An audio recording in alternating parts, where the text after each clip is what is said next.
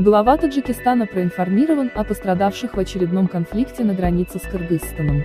Президент Таджикистана Эмомали Рахмон взял под личный контроль процесс урегулирования приграничных вопросов.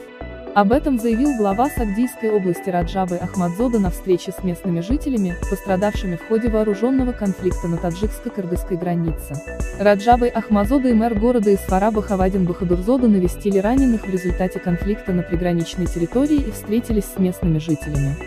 В ходе встречи Ахмазода заявил, глава Таджикистана взял под личный контроль процесс урегулирования приграничных вопросов. Для восстановления их здоровья выделены ведущие врачи и медработники, предоставлены все необходимые лекарства, а поврежденные дома будут восстановлены в самые короткие сроки, сказал он.